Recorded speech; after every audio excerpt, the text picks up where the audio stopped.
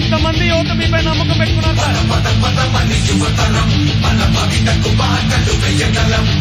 ఈ రోజు రాష్ట్ర వ్యాప్తంగా యువతకి ఆశాదీపం నారా లోకేష్ గారు.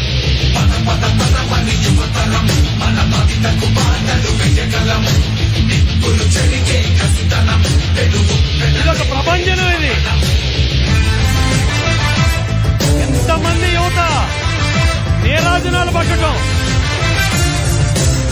పొలిటికల్ మీటింగ్కి ఈ వయసులో ఉన్న యువత కేరింతలు కొట్టడం.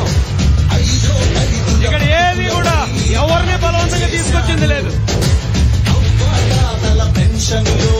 ఒక సినిమా హీరోకి మించిన అభిమానం. ఈ రోజున నారా లోకేష్ గారి సొంతం.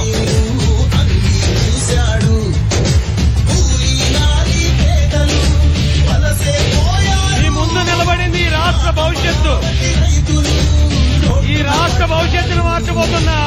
యువ నాయకుడు నారా లోకేష్ గారు. వర్జిల్లాలి లోకేష్ గారి నాయకత్వం. అందరూ పిడికిలు బిగించండి.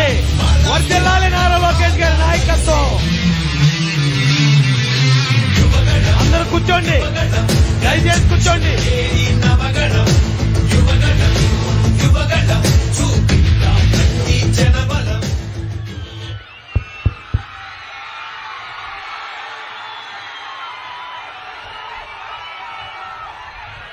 లోకేష్ గారు ఎప్పటి నుంచో కోరుకునేది ఒకటండి. ఇందాక నేను ఆయన మాటలు విన్నాను.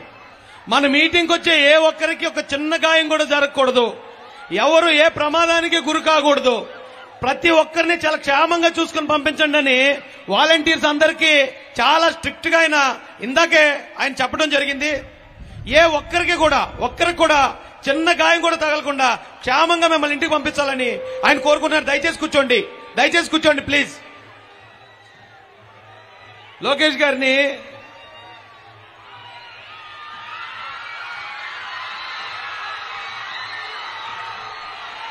లోకేష్ గారి నాయకత్వం! లోకేష్ గారి నాయకత్వం! ఈ రాష్ట్ర భవిష్యత్తు లోకేష్ గారి నాయకత్వం! ఈ రాష్ట్రానికి యువతకి భవిష్యత్తును మార్చగలిగిన సమర్థుడు ఈ రాష్ట్రంలో నారా లోకేష్ గారు ఒక్కరేనండి. అది ఈ రోజున యువతంతా గ్రహించారు. మీ కేరింతలు చూస్తూ ఉంటే మాకు ఏం మాట్లాడాలో మాకే అర్థం కావట్లే. అంత అభిమానం ఒక సినిమా హీరోని మించిన అభిమానం. ఈ రోజున నారా లోకేష్ గారి యువతలో సొంతం చేసుకోవటం ఆ పార్టీ కార్యకర్తగా మేము ఎంతో ఎంతో ఆనందపడుతున్నాం. వర్దిల్లాలే నారా లోకేష్ గారి నాయకత్వం. నారా లోకేష్ గారి నాయకత్వం. Sir please be seated